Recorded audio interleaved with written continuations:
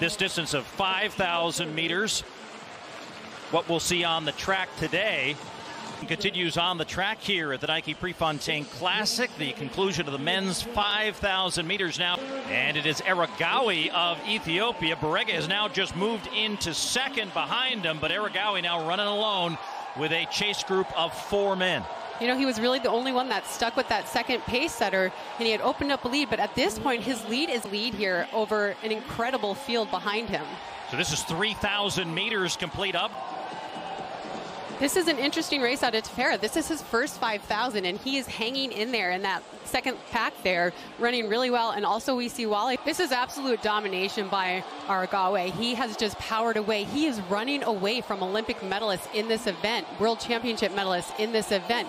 And it looked like there was a little discussion in that, that second pack as they just crossed the finish line about 100 meters ago. They wanted someone else to take the turn to pull up. But I can't underestimate how good that pack is that he is just blowing out of the water. And he looks so good and focused. He's really been working hard, but that's how you get a beautiful. This is really fast, and he's got two laps to complete. As you mentioned earlier, sub 13 is a magical time for men in the 5,000. It's very prestigious to break 13 minutes. There's only been one this year, last night, that we got to see here at the Prefontaine Classic. And he's doing this, but he's doing this on his own. He doesn't have anyone to chase anymore. He doesn't have anyone to work off of. Really, he can just, even if he looks up at the scoreboard, all he sees is himself. Well, the amazing thing, and that's the beauty of the Hayward Magic, he's not running alone when you have a crowd like this that knows and understands and appreciate what the reigning Diamond League champion trying to put together a Diamond League win, and it would take unmitigated disaster not to pick up the victory here today. But now, how fast can he make this last lap around the track? Again, the world's fastest time set just last night by the world record holder of Uganda, Joshua Cheptegei.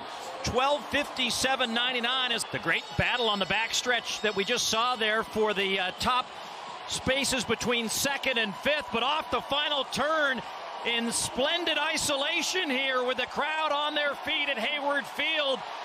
Aregawi, look at the time on the clock. He is going to obliterate that world best time from last night, and he goes to a new meet record as Barega and Mo Ahmed of Canada is fourth.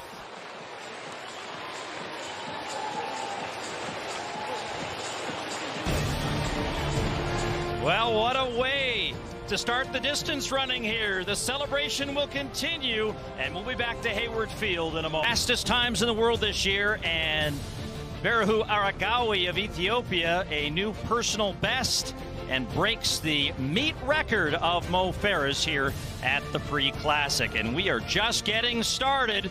Coming up live.